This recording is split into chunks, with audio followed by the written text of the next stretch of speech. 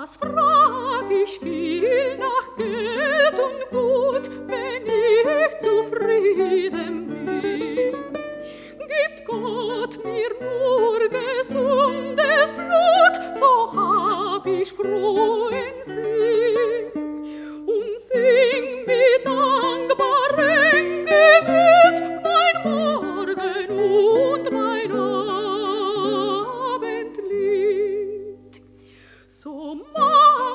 schwimmt im Überfluss, hat Haus und Hof und Geld.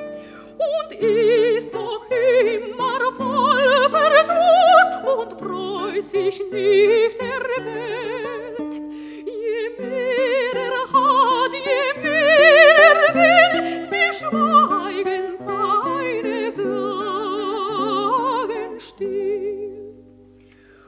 Und wenn die goldene Sonne aufgeht und golden wird die Welt und alles in der Blüte steht und er enträgt das Feld, dann denk ich alle